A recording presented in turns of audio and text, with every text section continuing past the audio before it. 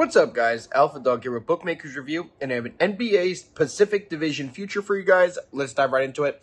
We're going to take the Suns to win the Pacific at plus 130. To me, they're the best team in the Pacific. Their other competition are the Lakers, the Warriors, the Kings, and the Clippers. But out of all those teams, I do think the Suns are the best. You are getting the best value at plus 130.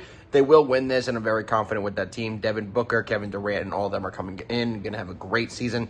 So, yet again, our NBA Pacific Division winner is going to be the Phoenix Suns at plus 130. Let's cash.